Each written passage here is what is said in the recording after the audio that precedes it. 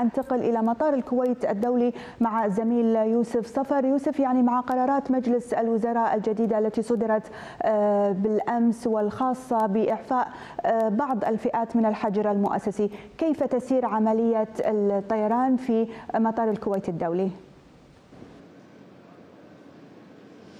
نعم كل الشكر لك زميلتي امسي عليك بالخير وامسي على السادة المشاهدين مثل ما أكدت من خلال تواجدنا الدائم في مطار الكويت الدولي.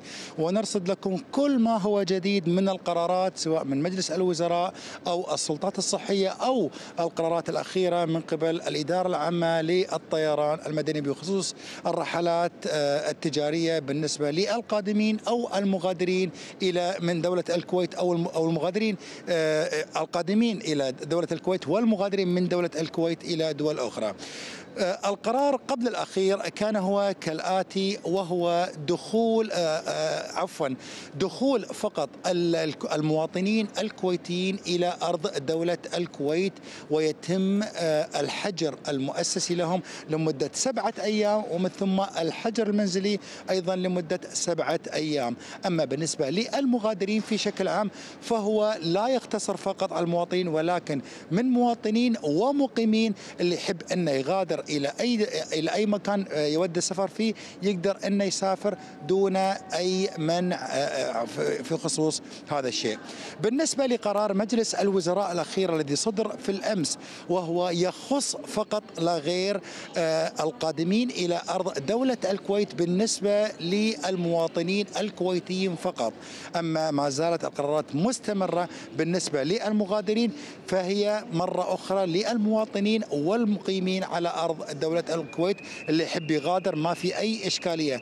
ولكن بالنسبة للقادمين فهي تقتصر فقط الرحلات على المواطنين الكويتيين. ولكن ما استجد من جديد هو بالنسبة للحجر المنزلي والحجر المؤسسي في شكل عام. عندنا الذي تم إعفاء من الحجر المؤسسي هو رقم واحد من حصل على جرعتين من اللقاح ومضى على أخذ هذه الجرعتين أكثر من أسبوعين. رقم اثنين من حصل على جرعة واحدة من اللقاح ومضى عليها أكثر من خمسة أسابيع. رقم ثلاثة من تعافى من الإصابة بفيروس كورونا وحصل على جرعة واحدة من اللقاح ومضى عليها أكثر من أسبوعين.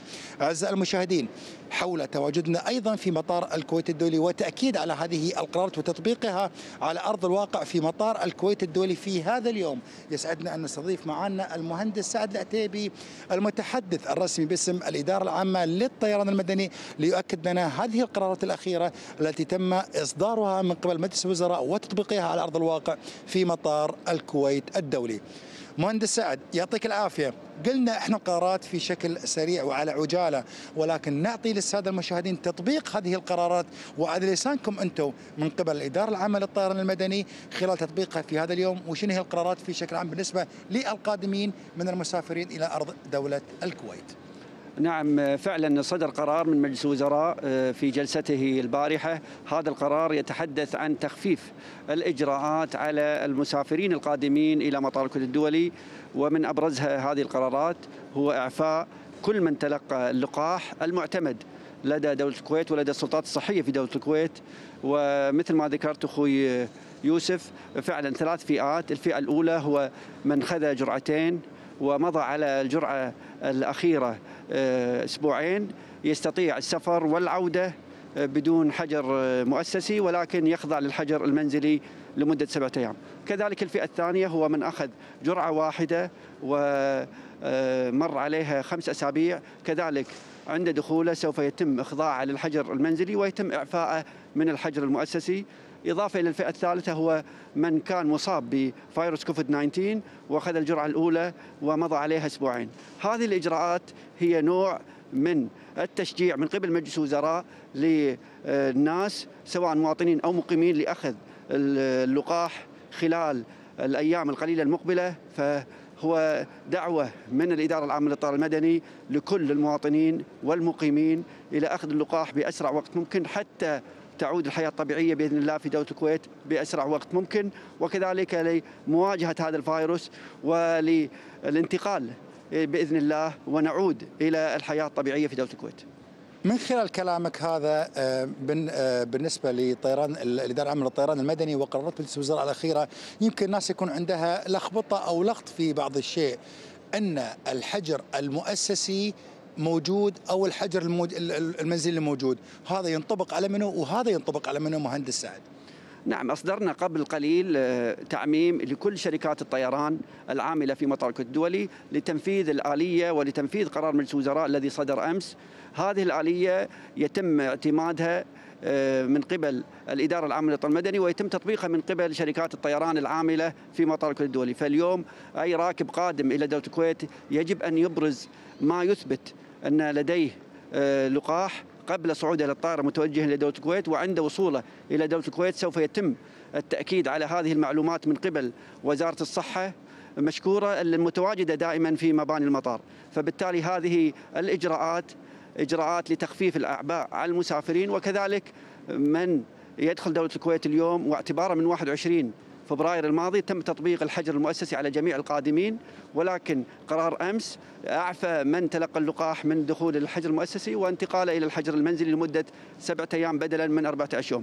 الذي لم يتلقى اللقاح ما زالت الإجراءات كما هي عند دخوله إلى دولة الكويت يخضع للحجر المؤسسي لمدة سبعة أيام ثم حجر منزلي يستكمل في المنزل سبعة أيام أخرى. مهندس سعد آه، فئة مهمة عندنا أبنائنا الطلبة الدارسين خارج دولة الكويت ويحبون أنهم يعودون إلى أرض الوطن. شنو راح تكون الآلية مع هذه الفئة المهمة وهي الطلبة الدارسة خارج دولة الكويت؟ نعم كذلك مجلس الوزراء لم يقفل هذه الفئة الغالية على قلوبنا اللي هو فئة الطلبة الدارسين في الخارج. كان في السابق دخول الطلبة آه، إلى مطار الدولي. لابد أن يكون ما يثبت من الملحق الثقافي بأن هذا الطالب معتمد في هذه الدولة وبالتالي يدخل دولة الكويت ويخضع للحجر المنزلي وليس المؤسسي. ولكن بعد قرار مجلس الوزراء آه، البارحة تم اعتماد ما يثبت آه، شهادة من الجامعة نفسها أو من الملحق الثقافي، فبالتالي أي طالب لديه آه، ورقة من الجامعة التي يدرس فيها يتم اعتماد الحجر المنزلي لهذا الطالب. كل هذه الإجراءات الهدف منها التخفيف كذلك على أبنائنا الطلبة وتسهيل إجراءات سفرهم من وإلى دولة الكويت. المهندس سعد العتيبي المتحدث الرسمي باسم الإدارة العامة للطيران المدني. شكرا جزيلا على الإيضاحات هذه والقرارات الأخيرة بالنسبة من مجلس الوزراء والتعميم الأخيرة من قبل الإدارة العامة للطيران المدني.